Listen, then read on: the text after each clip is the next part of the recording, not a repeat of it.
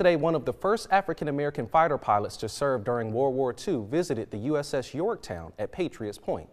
News 2 Delilah James had a chance to hear his story.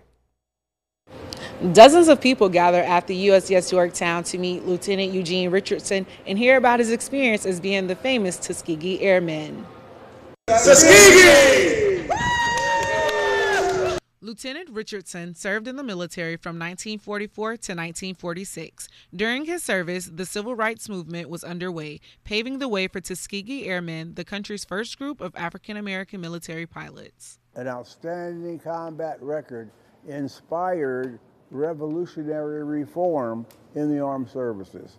That refers to the fact that in uh, 1948, President Harry Truman issued Executive Order that effect ended segregation throughout the military. Lieutenant Richardson shared stories about how his unit contributed to the success of the Second World War.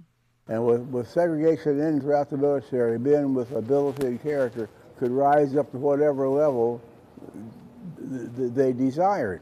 And once the military was desegregated, the desegregation started uh, flowing throughout, throughout our country.